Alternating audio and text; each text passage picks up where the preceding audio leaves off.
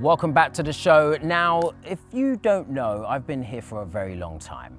My Arabic is not the best it can be, but how do you learn? You learn through laughing and sometimes a few words that you're not supposed to know. But our guests today are going to help me with that. They are the masters behind the comedic sensation Bil3arabi.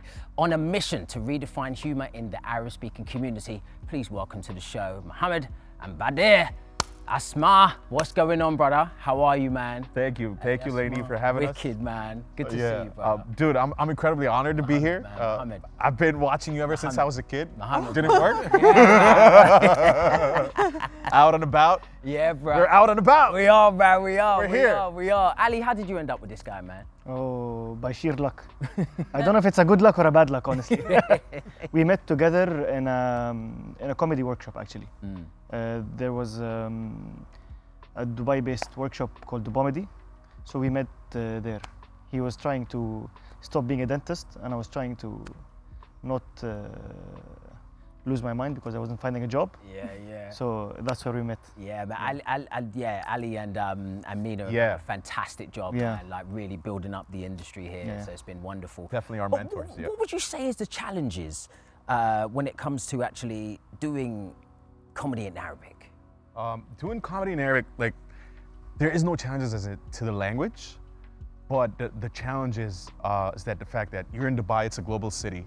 Any weekend you can have like Kevin Hart, Andrew Schulz, uh, Sean Shittiak. Yeah, you got to compete with this guy right here. Walked in a year in and he's like already selling out theaters. I'm so jealous. It's not even funny. Um, so yeah, that's that's the, the hard part is that people do not associate stand up with Arabic yet. It's it's mostly an English art. So that's where we're trying to like yeah, I don't want to say educate because we're not educating anybody about anything. Uh, the name it. says what it is, man. I love that yeah. in Arabic. This is mm -hmm. what we're doing. Exactly like that. Love that, bro. How, love the how is the Dubai like comedy scene like growing? Like obviously, you know, you're doing your thing. Like how is it like being out there and it, are you pulling in an audience? And what is the audience's feedback? How is it comparing to other international comedy scenes? It's been so, incredible, yeah. Yeah. Yeah. You go ahead. Please. You, you need a. You, you're the founder. Please, no, you're only seven. You're the founder. I will pay. No, you pay. Such an Arab situation. Like we're not arguing over the bill, guys. Just one of you let me, talk. Let me do a. Let me do a Sean. Brother, please. also, you make fun of a Please, I make on you. Fun of every day. So uh, when we first started out seven years ago, um, when we like, it wasn't much of a scene, uh, even English-wise. Yeah. Uh, but then uh, there's incredible producers in English uh, that also came up through the time, and we've been working for all the past seven years on. They're developing their nights. Um, I'm developing my night, and eventually, um, event, right after COVID, um, because people came out wanting entertainment, right? Yeah. And then it, it kind of took an upswing, and we haven't come down from from that upswing yet. So that's how it has evolved. Uh, I remember like performing to a crowd of two uh, Out of one, please. One, yeah, we had one guy with his little daughter yes. once.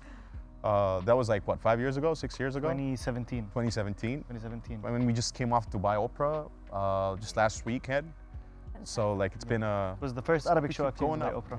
Mashallah. so we keep going up. We used to do it at the Child's Cafe. But it's, it's the first Arabic stand-up comedy in Dubai Opera. Yeah. We're the first Arabic group in Dubai. Arab, I actually wanted I actually wanted to ask you guys because I know like so I actually started seven years ago as well. Oh wow. So I, have been doing it for How a while, but it took a while. I'm 27. Oh, okay. So, you look oh, younger. Wow. Yeah, thank you. it's good genes, I guess.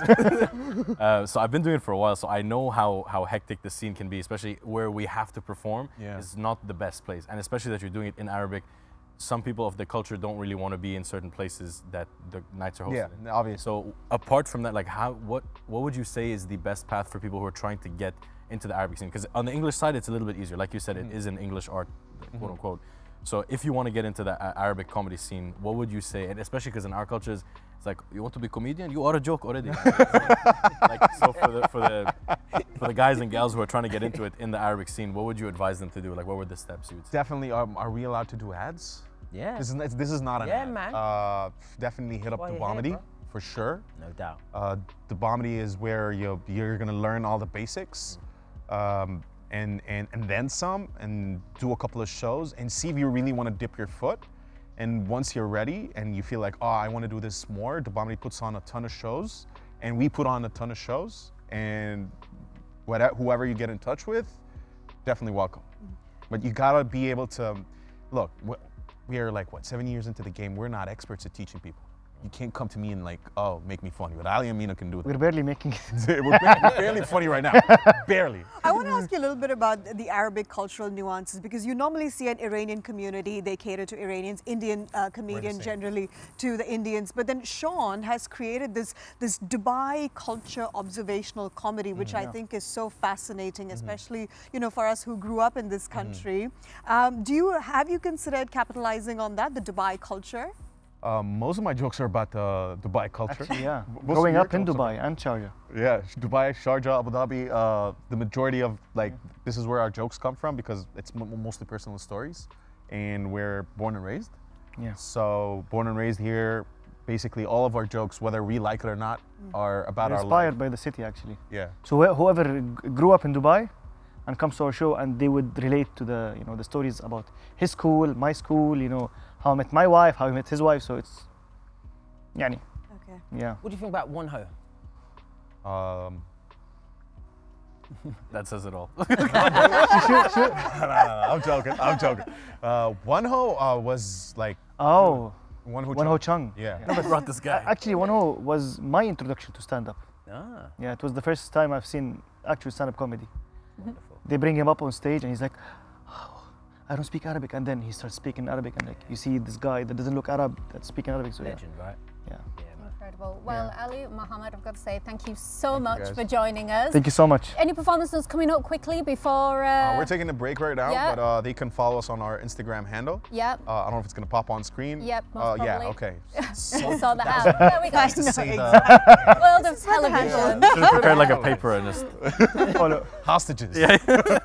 Thank you so much, guys. Now so much. we have got time for the spotlight for today, and it is on a comedy club showcasing the vibrant talent of Dubai's comedy scene. This is Miqdad Dohadwala from the Mad Cat Comedy.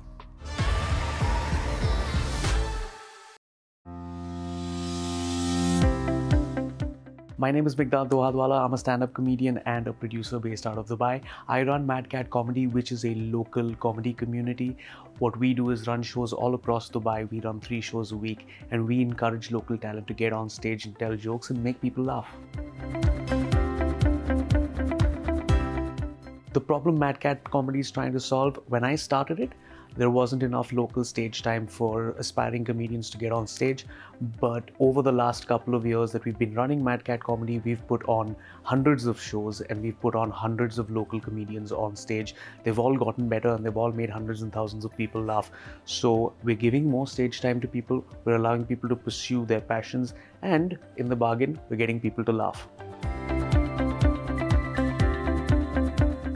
Some of the major milestones that we've hit is I remember at one point of time we sold out about 300 tickets for a local comedy show, and that was a big number considering these are numbers that usually international acts would sell out.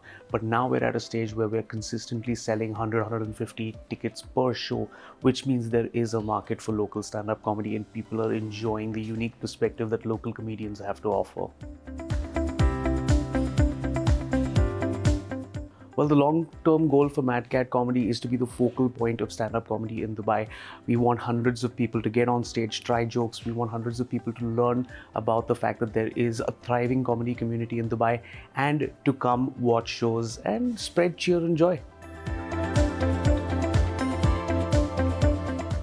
Well, Dubai is the ideal place to run a comedy club because there's 197 nationalities here. So, as from a comedian's perspective, making such a wide group of people laugh is a very difficult job. So, if you train as a comedian in this country, you could potentially perform anywhere.